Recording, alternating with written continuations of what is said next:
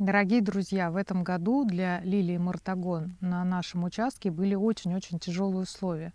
Весной они взошли, выросли сантиметров на 30-40, а потом ударил мороз, и они все полностью почернели. И так весь год я их и не видела. Они абсолютно заросли пыреем, там всем чем угодно, сорняками. И вот осенью я все-таки решилась посмотреть, что вообще с ними, живы ли они. И вот они, смотрите, как они выглядят.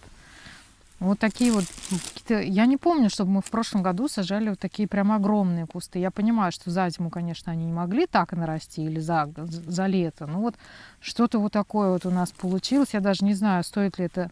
Ну, наверное, стоит разделять. Вот такие получились какие-то прям как букеты.